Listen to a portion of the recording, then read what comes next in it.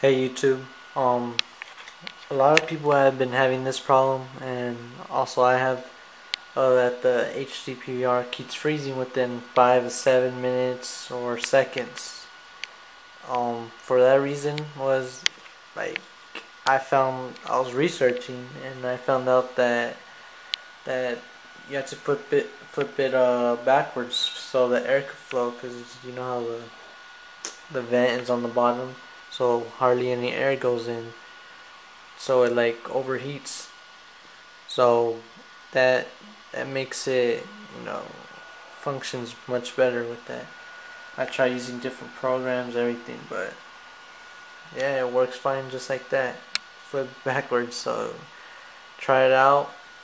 Um, yeah uh, tell me how it goes. Tell me if it works in the comments.